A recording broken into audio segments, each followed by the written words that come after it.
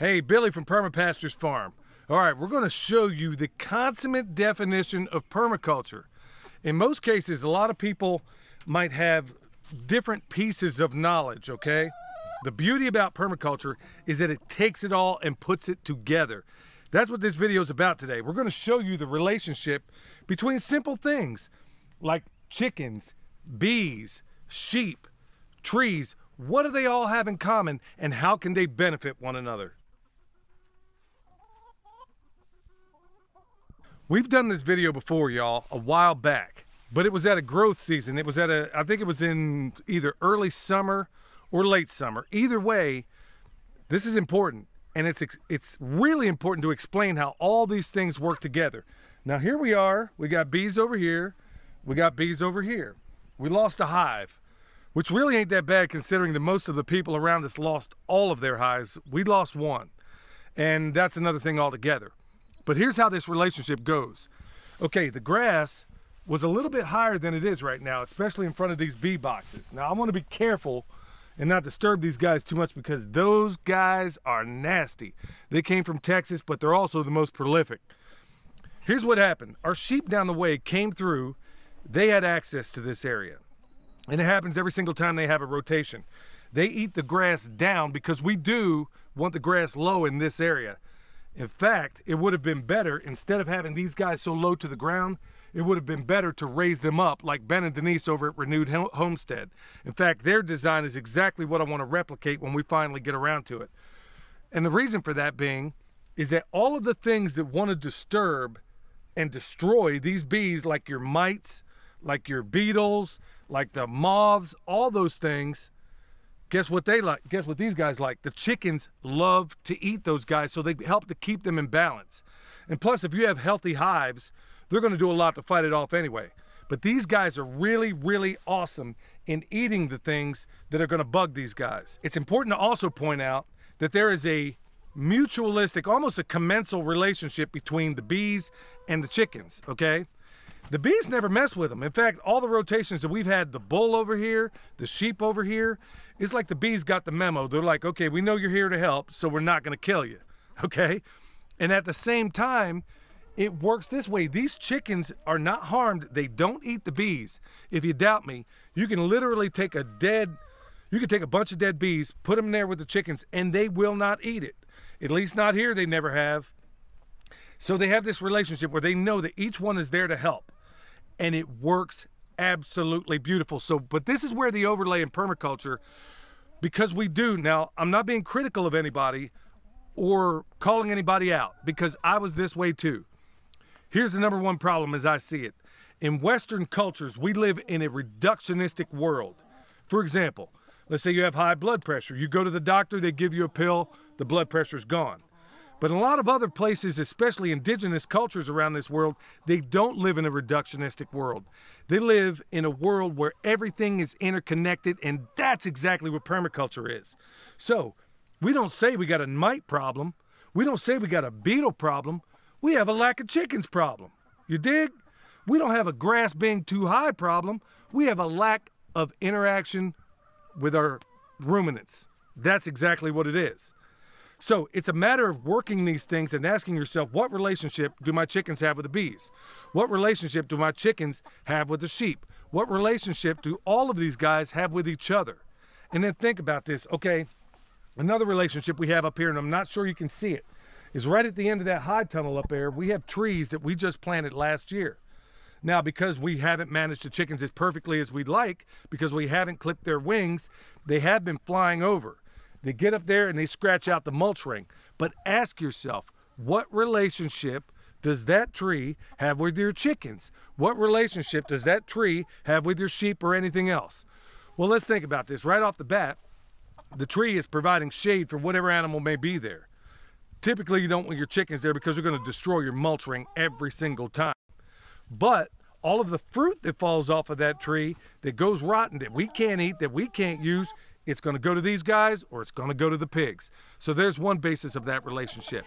When we do that chicken tractor on steroids, all of that compost they produce, because we do it in very close proximity, not only to these guys, but the trees that are alongside the driveway there. That's our orchard.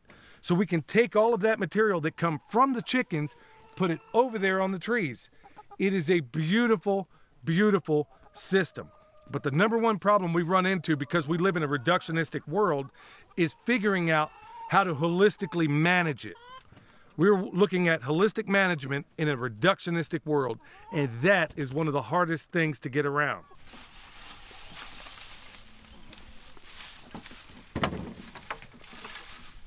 talk about some other relationships that in a reductionistic world you're never going to think about. In fact, you're going to see it as a waste stream. And what that waste stream is, is what comes out the back end of the cows, the sheep, and even the birds. Now, like I said, the cow had been here first, the sheep right behind them. And then, lo and behold, here we are. Isn't that right, bird? So what do they leave behind?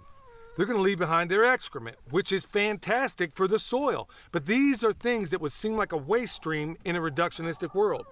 So let's think about with the chickens. Let's think about their role in that relationship. So the bull came through. They dropped. He dropped a big old patty. Okay. The sheep came through, and then about three days later, these guys came through. They go through. They bust up all those patties that come out of the back end of our ruminants. They eat whatever worms are in there. Yeah, it may seem disgusting to you, but that's exactly what happens. They break up the parasite cycle for those animals.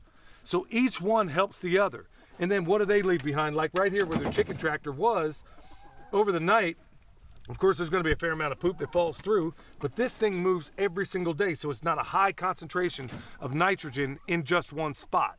They left it here, they're going to leave it there, and I promise you, as time goes on, it's only going to get better.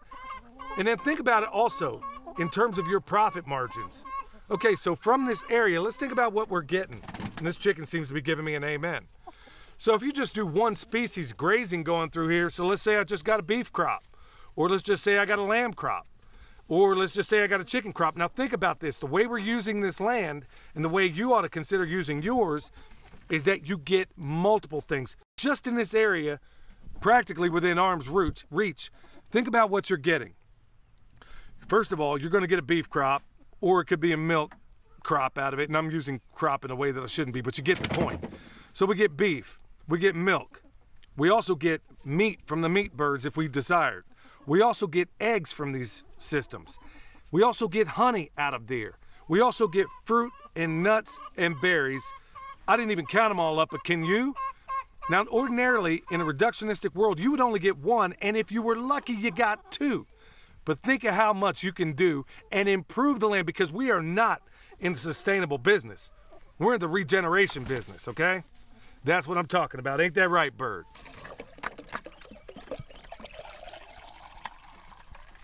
All right, y'all. Here's why I get so excited doing this work. Right here is a black locust that I pretty much pollard. It could have been higher but I got a bunch of experiments that we'll talk about later on. But that's not what we want to get to today. Reductionism. We want to get rid of that in your farm systems. And I don't care where it is. Down the way, we got the sheep. They're doing their thing. Right behind me, we got the chickens that are about three days behind.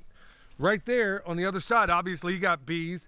And then what you don't see is back over the hill, we got the bull. So it's the bull, the sheep, the chickens, you get the point. But I also want to point in the zoning because that's another thing in this reductionistic world. I keep using that word. Find out what it means and find out how you, me, and everybody out there watching this video is a victim of it and how we got to get ourselves out of it. So, when the chickens, whatever they have, let's say it could be in the chicken tractor on steroids, and like I said, we got playlist after playlist for that. Whatever the case me may be, their relationship is very, very close to this orchard that runs basically up and down the driveway. You can see Michelle standing down by part of it. Everything's dormant right now. Everything is dormant right now, so you're not seeing the full effect of it, but you will, so hang loose when spring rolls around. Those chickens interact with this. This interacts with the chickens. The chickens interact with everything works together. Nothing is done in isolation. And that's what not only will make you more efficient because our zoning is impeccable. As I come over here, I don't want to step on the strawberry starts we got out here. We have a, a road, our road that goes up and down here. Now think about it.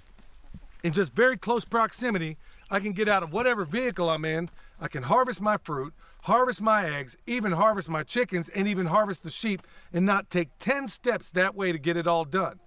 That's also part of it. What drives so many people crazy doing this lifestyle is that you may because you didn't you didn't think your design through and these things by and large can be corrected. So maybe you got your chickens over there because it looked good. You thought it was it had this you know um, this country look to it and maybe that was the reason you chose it. You got your cows over there. You got your sheep over here. You got your pigs over there. And none of it has any relationship with one another. We have got to get around that thinking, especially at a time in America where things are becoming more expensive and we are all going to have to be more efficient. Let's talk about our structures. Do they work within this design? Absolutely. Right here, we got a high tunnel, okay? And we're doing all kinds of wonderful things inside of it, but there are wonderful things going on the outside of it. So not only are we collecting the water, and we're gonna do some pretty cool stuff in the near future regarding all that, but also on the downside of it, Think about how your animals interact with this. So the compost that we produce from these chickens, from those sheep, from that cow, all goes right into here. It also goes into the garden boxes that are in our zone two area around the house. How beautiful a design.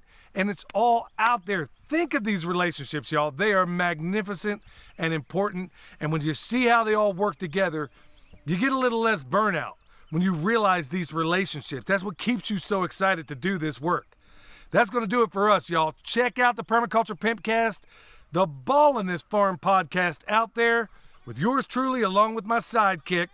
Also, we got bone sauce in stock and we got some other things. So check us out at the website. Need an EMP shield, anything else, Harvest Right Freeze Dryer, we got that down below.